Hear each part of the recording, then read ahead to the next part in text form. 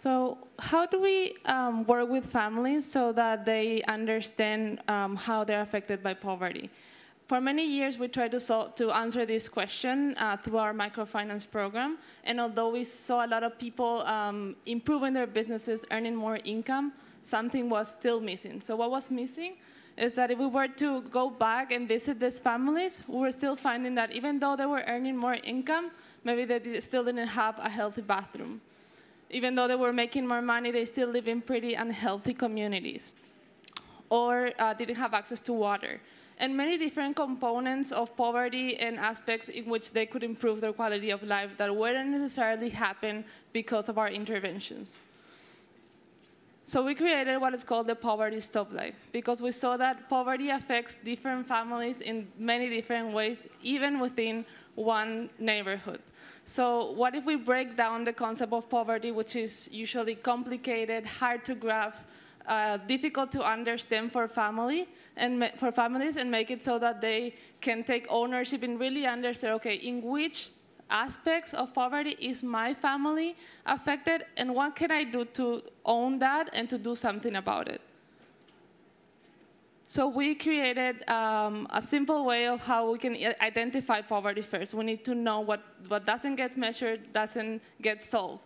So we're measuring poverty, but from the perspective of the family and using color, color to, to code the different situations. So in the case of water, for example, a family would see um, a family that is carrying water from a stream or a river, and that will be a situation of extreme poverty. They will see another picture that where a family is getting water from a well, and that will be a situation of poverty. And then in the third place, they'll see a, a green picture of where a family actually has a faucet and access to, to clean water uh, during all the time of the day. So in a very quick way, the family can relate to this picture and say, okay, which one is my situation? And then we move to the next one. And we do this with 50 indicators uh, focusing not only in the traditional indicators of income, health, education, but also going to, okay, what are the other aspects of poverty, such as self-esteem, family violence, um, that are often not taken into account, but are clearly very important when families need to be empowered um, to overcome poverty. We use technology, so we have developed a, a, visual survey where we can use tablets when we get to work to the community. The families themselves are looking at the three pictures, say, okay, which is a situation that better relates to my uh, family, and choosing the pictures. And we do, do we do that uh, with the 30 indicators uh, in about 20 to 30 minutes. So what happens after? Once you're finished just going through the assessment, um, the family can clearly see, okay, all the reds and all the yellows are where I need to work on, are where I'm, I'm going to establish my priorities and my plan so that my family can improve our life condition because we use technology, we can geotag, and in a very simple map, we can see that each dot is a family, and we can start partnership. Okay, we need to actually get solution based on real needs and partner with governments or with public sector to bring interventions. So the poverty solving not just about measuring poverty, but actually what we want is to unleash the potential that, that families have inside to move them towards green. So it's in a very simple way, we, we, we want them to make the transition indicator by indicator from red to yellow to red. And we've seen amazing change happen just by, by, just by helping families realize their potential and how much change can happen. This is a competition, sort of like extreme makeover, where families were able to, uh, to work for three months with their partners, uh, just raise money in the community and actually transform their bathroom, just because they knew that they wanted to get to green.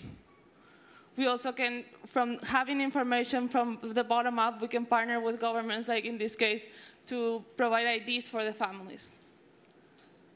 And so there's, there's many different ways in which we can unleash the power and, and let the solution sort of blossom, and, and that's what we've been trying to do at Fundación Paraguaya, but especially partner with, uh, partnering with organizations, nonprofit businesses um, across countries so that they can implement the poverty stoplight in their own programs.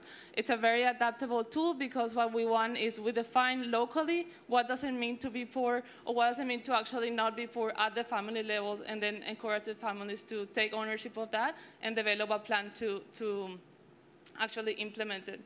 Um, so as we scale up, we have developed a big network of organizations, and what we're looking for is uh, to improve our, our technology. We want to, right now we reach people one by one. We want to be able to reach millions and to break that barrier of um, um, having to, to, to be present.